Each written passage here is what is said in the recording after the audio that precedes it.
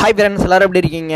வெளிநாடுகளிலிருந்து இந்தியாவிற்கு தற்பொழுது செல்வதற்கு என்னென்ன பயண நடைமுறைகள் வந்து இருக்குது ஏதாவது புதிய ரூல்ஸ் வந்து இருக்கா? அப்படின்ட்டு நிறைய நண்பர்கள் வந்து தொடர்ந்து வந்து கேட்டே இருக்காங்க. ஏர் சுயதால பதிவு பண்ணணுமா? பிசிஆர் டெஸ்ட்லாம் வந்து எடுக்கணுமா? அந்த மாதிரி நிறைய கேட்டுகிட்டே இருக்காங்க. ஸோ அவங்களுக்கு ஒரு தெளிவான விளக்கம் வந்து நம்ம கொடுக்க இருக்கிறோம்.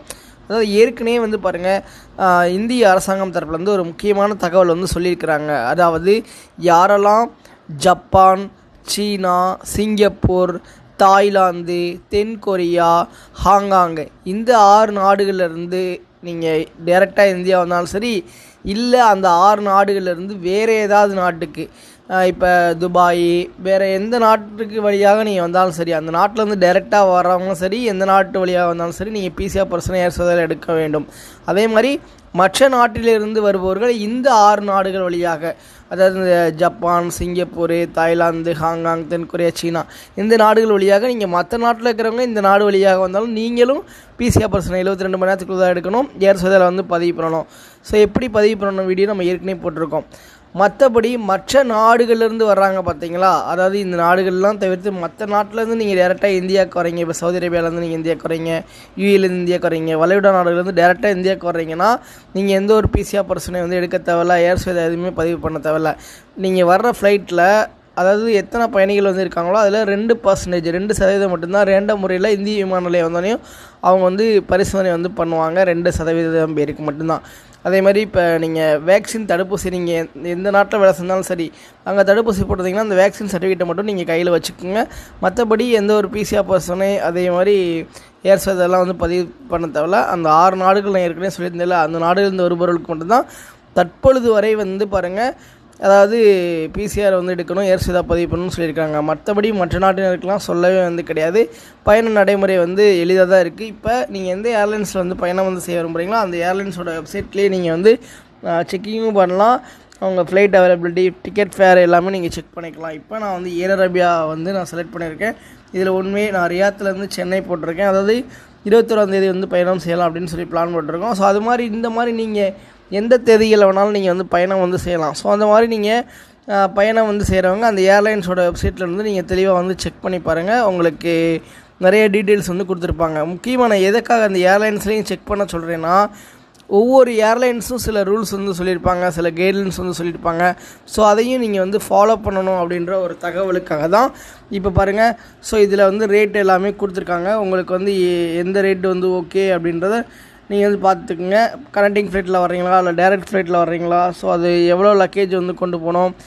பெரிய லக்கேஜில் இப்போ செக்கின் லக்கேஜில் முப்பது கிலோனா முப்பது கிலோ அளவோடு தான். அது மட்டும்தான் நீங்கள் வந்து கொண்டு வரணும். அதே மாதிரி இப்போ சப்போஸ் வந்து நீங்கள் ஹேண்ட் லக்கேஜில் ஏழு கிலோனா ஏழு கிலோ தான் கொண்டு வரணும். அதுக்கு அதிகமாக வந்து நீங்கள் கொண்டு வரும் பொழுது உங்களுக்கு வந்து அதுக்கு விமான நிலையத்தில் அதிகமான சார்ஜ் வந்து பிடிப்பாங்க அப்படின்ற ஒரு தகவலை வந்து தெரிஞ்சுக்கோங்க. இப்போ பாருங்கள் இந்த ஏர்லைன்ஸ் வந்து ஒரு முக்கியமான தகவல் வந்து சொல்லியிருக்கிறாங்க. அதாவது இந்த ஜம்ஜம் வாட்டர் வந்து கொண்டு வருவாங்களா சவுதி அரேபியாவிலேருந்து ஸோ அது வந்து யார் கொண்டு வர முடியும்னா எந்த பேசஞ்சர்ஸ்கிட்ட வந்து வேலிடிட்டியான உம்ரா விசா வந்து இருக்கோ அவங்க மட்டும்தான் ஜம்ஜம் வாட்டர் வந்து கொண்டு போக முடியும் இந்தியாவுக்கு.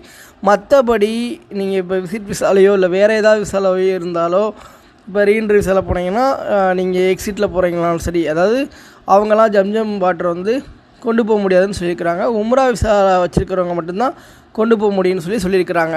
அதாவது இந்த மாதிரி ஒவ்வொரு ஏர்லைன்ஸும் நீங்கள் பயணம் செய்ய இருக்கிற ஒவ்வொரு ஏர்லைன்ஸும் ஒவ்வொரு ரூல்ஸ்லாம் சொல்லுவாங்க. ஸோ அதுக்காக தான் அந்த ஏர்லைன்ஸ்ட்டை நம்ம என்கொயரி பண்ணுறது நல்லது. சப்போஸ் நீங்கள் ஏதாவது சந்தேகத்துக்கு இடமான பொருட்கள் வைத்திருந்தாலோ உங்களுக்கு இந்த பொருட்கள் கொண்டு போகலாமா கொண்டு போகக்கூடாது லக்கேஜில் வைக்கணுமா வைக்கலாமா அப்படின்னு உங்களுக்கு டவுட் இருந்தாலும் நீங்கள் ஏர்லைன்ஸ்கிட்டே போர்டிங் போகிற டயத்துலேயே வந்து நீங்கள் அவங்கக்கிட்ட வந்து அதாவது நீங்கள் அந்த போர்டிங் பாஸ் உங்களுக்கு இஷ்யூ பண்ணுவாங்களே ஸோ அதுக்கு முன்னாடி இந்த ஏர்லைன்ஸ் செக்இன் கவுண்டரில் நீங்கள் அவங்கக்கிட்ட சொன்னாலே அவங்களே வந்து உங்களுக்கு அந்த சஜஷன் எல்லாமே சொல்லுவாங்க. இப்போ வரையும் பயண நடைமுறை ரொம்ப ரொம்ப எளிதாக தான் இருக்குது நீங்கள் அதாவது இந்த ஆறு நாடுகளை தவிர நான் ஏற்கனவே சொன்னேன் அந்த ஆறு நாடுகளை தவிர மற்ற நாடுலேருந்து போகிறவர்கள் எந்த ஒரு பிசி ஆஃபர்ஸ்னால் ஏர் எதுவுமே பதிவு பண்ண தேவையில்ல. முக்கியமாக ஏர்லைன்ஸ் வந்து ஒரு முக்கியமான ஒரு தகவல் சொல்கிறாங்க அதாவது நீங்கள் விலை உயர்ந்த பொருட்கள். இப்போ தங்கம் வந்து கொண்டு போவீங்க இல்லை ரொம்ப காஸ்ட்லியான செல்ஃபோனாக வந்து இருக்கும். அது இப்போ பணங்கள்லாம் வந்து ஃபாரின் கரன்சி வந்து கொண்டு போவீங்க. ஸோ அந்த மாதிரி விலை உயர்ந்த பொருட்கள்லாம் வந்து எது எது இருக்கோ காஸ்ட்லியான ஐட்டம் முக்கியமான டாக்குமெண்ட்டு இப்போ உங்களுடைய பாஸ்போர்ட் இந்த மாதிரி முக்கியமான டாக்குமெண்ட் இதெல்லாம் வந்து செக்இன் லக்கேஜில் அதாவது பெரிய லக்கேஜில் வந்து நீங்கள் வந்து வைக்கக்கூடாது.